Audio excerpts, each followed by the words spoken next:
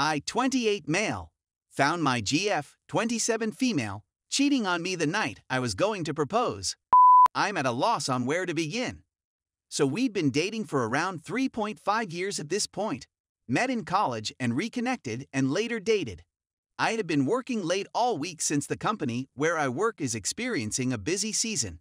But tonight I worked especially hard to get out the door by 6:30 or so to propose to my girlfriend. The timing of my proposal had been on my mind, and I thought that last night was the best time since I couldn't wait till after the busy season was finished to pop the question. After I got out of the office, fortunately for me, I was the first phase to return. I proceeded to the best restaurant in town and picked up my takeout order. It was a terrific day. After dinner and my proposal, I even went out and rented the movie Tenet for later that night. So I drove into the parking garage and entered the building. When it came time to unlock the door, I heard some fantastic music playing and imagined she was planning a surprise time for us both. I go inside the restaurant, put the takeout bags on the counter, and walk out the door.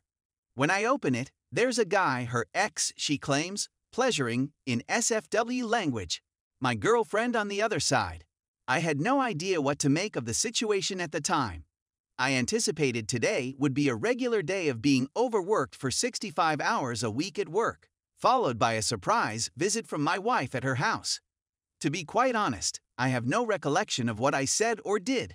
All I remember is her saying, OMG, OMG, OMG, you weren't supposed to come back. I'm sorry, blah, blah, blah, and then disappearing. The next thing I know, I'm in my car, driving over to my work partner's house, where I'll spend the next few hours weeping as I explain my complicated stay at home proposal idea.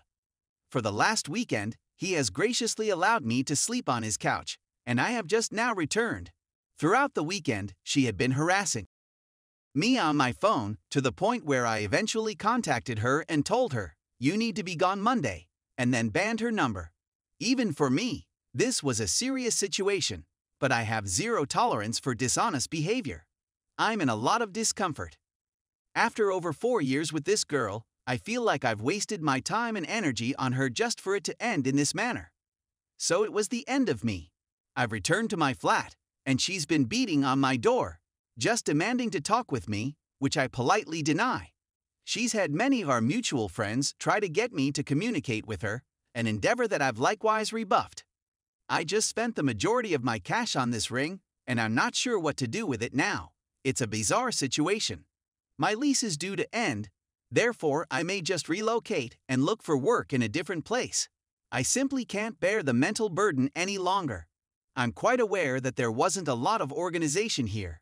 Mostly just a rant, but I've been itching to scream, and this is the best I can come up with right now. Edit, you guys. It had not been expected that this level of support would be received. Once I got home from work, I phoned the jeweler and they agreed to let me return the item. In addition, I'm back at home, which is a welcome relief. Personal life wise, I plan to move when my current lease ends in April and begin a new one in May. Thank you for taking the time to read my story. Story 2 My boyfriend keeps lying to me about cheating on me. Several days previously, when my partner, 24 male, had abandoned me in the apartment, I, 21 female, went to check on his laptop, which he had left unattended. When I accessed his Discord, I saw that he had been speaking with a number of other females, all of whom were inappropriately, but one in particular stood out. He had been this girl for months, sending her pictures and videos and everything else. He texted her a screenshot of his naughty pictures earlier in the morning, and she laughed. This was not the first time I had come upon anything like. A small number of women have contacted me through email and stated that he has been cheating on me, with one of them even offering proof. In order to see if I can find anything, I've been checking his phone continuously since then, whenever I have the opportunity, since he never leaves his phone out. When I do notice anything, he always has a good explanation for why it happened. The man has said to me that he's talking to a robot, or that when I went into his Discord, it was a friend of his using his account to connect with these females, and that he was sending images of his own penis to other girls in an attempt to set me up. My response to him was that it seemed ridiculous for him to call him. Within a minute of responding to this lady, and ask him to give him with a photograph of himself so that he could send it to this female. I pleaded with him to speak the truth, but he refused to do so. He claimed that he was trying to teach me a lesson by allowing me to see what he was looking for, since he knew I was checking so carefully to see if he's cheating.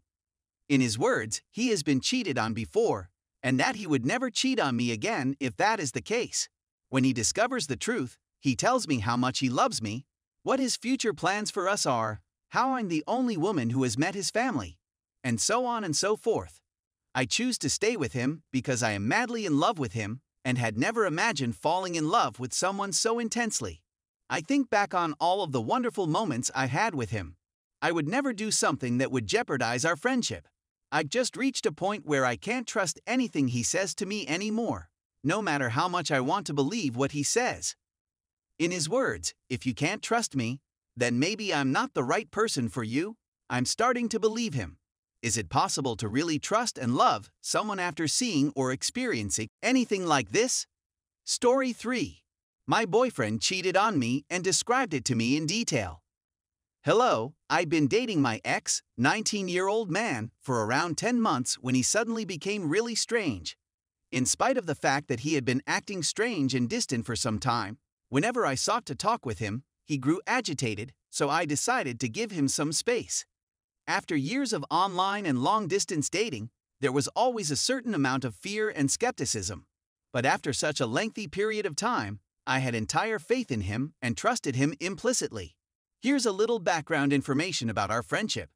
We met online via a mutual acquaintance and spoke as acquaintances for approximately two months before engaging in a meaningful discussion about our goals, desires, and aspirations, among other things. When I started to develop feelings for him, he revealed to me that he dreamed about a girl who seemed to be just like me. I was absolutely engrossed in the story.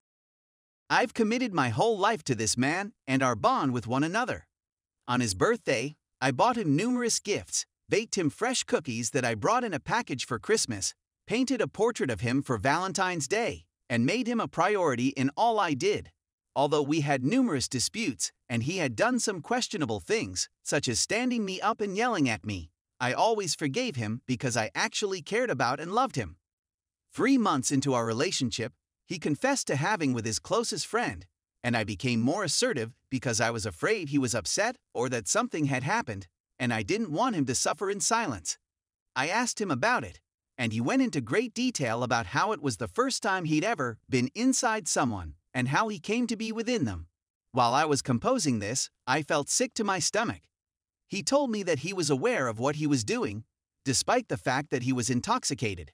At first, I was afraid that he had been mistreated or that he wasn't fully capable of making decisions at the time, but he later informed me that he had chosen to sleep with them that night. I sobbed uncontrollably for many hours. I approached him and asked if I could talk with his friend. We'd met before and had a brief conversation, but I didn't have their phone number. Neither I nor my boyfriend were outraged or shouting at them. All I wanted to do was ask them why and check if they had the same story as my boyfriend. He said that his friend was scared of me, and that the whole group was terrified of me. Later that night, he told me that his friend had committed suicide as an act of sorrow for what had happened. I couldn't shake the feeling that it was my fault. I tried to explain that I wasn't angry and that no one had ever described me as scary or threatening before, but they mistook my words for anger and made it seem as if I was provoking them. I honestly don't know whether or not this whole story is true, since I've never met any of the people involved. Unfortunately, I forgave my boyfriend for the second time and remained in the relationship for another two weeks after that incident. His irritation with my inability to move on led to him accusing me of being too dramatic and emotional, and telling me that I should put the incident in the rear view mirror. The Snapchat picture he provided was of his most recent message, which came from a contact named My Baby, which was obviously not me, and I was clearly in a state of chaos. My suspicions were confirmed when I asked him if he was cheating on me again, and he claimed it was his ex girlfriend, for whom he had forgotten to change his name despite the fact that they were still friends and still talked on occasion. Neither I nor my heart could bring myself to trust or forgive him anymore. I stopped my relationship with him, and I'm still not sure whether I made the correct decision or not.